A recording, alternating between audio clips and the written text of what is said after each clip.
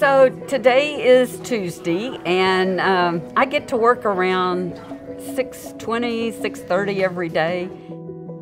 Morning. How are you doing? The number of patients we've had and the acuity, intensity of their condition has necessitated us to have more staff. We have a lot of people floating from the system flex team, so I don't always know everybody. Nice to meet you. And then are you? Ashley. Ashley, welcome, you guys. So good to see you. We never had a proning team before. Proning is putting somebody to sleep on their belly and still on a ventilator. But what we found with our COVID patients is sometimes we actually leave them a lot longer because we see that it improves their oxygenation. She's so sweet. Aww. And Laverne, she works nights. I get energized by being around people. Normally, I exercise a lot, so I'm getting my exercise just by walking right now. Most days I can put on about 7,000 to 10, 12,000 steps, sometimes in four or five hours. Okay, thank you, night shift. I hope y'all had a good night. Y'all have an okay night? Yeah? Oh, good. And for your first nights, it was, oh, good. That's what we want to hear.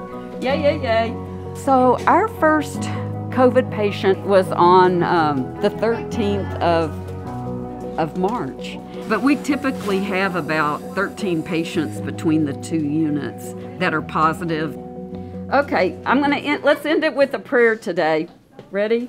Um, dear God, even as our faces disappear, we pray that a deep, abiding awareness of our purpose will remain, the roots grounded far beneath the surface of our spirits. Unite us as the forest of faith that we will not fail. Amen. Okay, y'all, have a great day.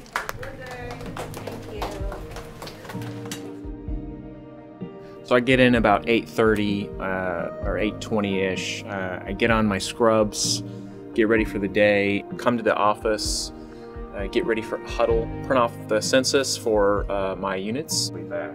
So, Aaron, would you start us off today with a reflection, please? Yes, sure. It's called For a Friend on the Arrival of Illness. Now your time on earth becomes full of threat. Before your eyes, your future shrinks. You lived absorbed in the day to day, so continuous with everything around you, that you could forget you were separate. Now this dark companion has come between you. Distances have opened in your eyes. You feel that against your will, a stranger has married your heart. Nothing before has made you feel so isolated and lost. Good morning. Palliative care is a, a, a symptom management, and as a chaplain, you know, there's spiritual and emotional issues that uh, patients have uh, and families may be having, experiencing at this time. So I, I go in and, and explore their um, their emotional needs and validate their emotions of, of sadness and, and grief. Um, Mr. Gillis in 208. Aaron um, this family is so appreciative of your involvement. So he is, has been extubated. Did okay. Um, I think he was on BiPAP last night. I'm so glad you got a good visit with him. It's been it's been quite a quite a long time. How long has it been since he's? It's uh, been almost three weeks. It's um, How, how do you feel? seeing him come back. I feel wonderful. Oh yeah. Well, thank you for sharing with me, uh, uh, Miss Gillis. I I really appreciate it.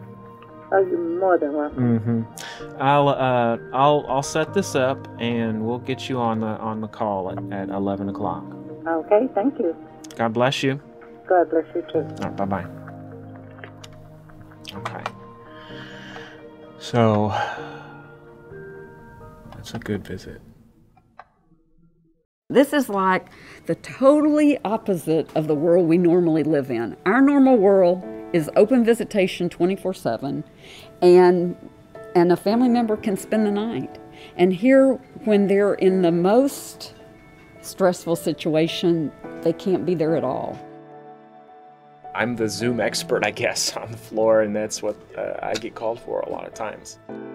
We've been using Zoom to be able to communicate a few times a day with the patient's family. So the family can see the patient and talk to them. And so Aaron has been able to be a major link between the family, the patient, and the healthcare team in having that communication. He's just like a daily breath of fresh air for the family to be able to have that connection. I'm really grateful to Trisha. Her acceptance of me on the team has helped me with uh, relationships with the nurses, relationships with the doctors. I've just felt at home. So many things to coordinate. I'm glad you're doing it and not me. So much coordination. oh, there he is. Okay. Hi, Thomas. Hi, Thomas. My name's Trisha. I'm going to take the um, iPad into his room now. Ready? Yep. Okay, let's go. Thanks so much. Oh, no problem. I'll see you guys in there. Come on in with me. It's been exciting to see, um, and we're hopeful, and the family's very hopeful too. So, uh, whenever they do an extubation of anybody who's COVID, they post a little picture of sunshine, you know, because there's brighter days ahead. Give him your peace, and God, we thank you for his family and for what their uh, their prayers and the work that they, that they are hoping, and uh, we just pray, God, that, that your Spirit be with them. We thank you for uh, uh, for what you've done so far and what you will continue to do, and we continue to help with you. And we pray these things in your name. Amen. Okay, blessings. I'll stick in for a little bit. Hey, baby. Oh, look at this smile. We miss you.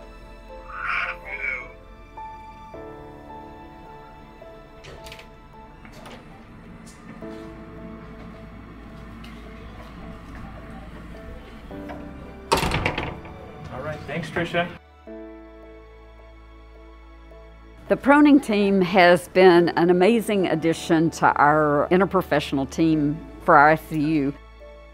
And they're great at helping us reposition because of their expertise as physical therapists, occupational therapists, and athletic trainers. So essentially, we're helping the nursing staff and the physicians to prone the patients so they can breathe more effectively. When we flip them over, uh, we're seeing that some of their oxygenation numbers are going to increase, uh, sometimes even instantaneously. The most rewarding part of it all for sure is coming in after a couple days off and someone who's been here since the beginning with us is finally extubated and on an upper floor and a lot healthier. It's like the best reward to come in and do this job. It is tough in some places. It's like a, it's a roller coaster. It's exciting. It's scary. It's uh, it's great news. It's bad news. All I can do is keep breathing and uh, keep going. You know, because we've got a lot more cases uh, to go. I think trying to pause and reflect on um,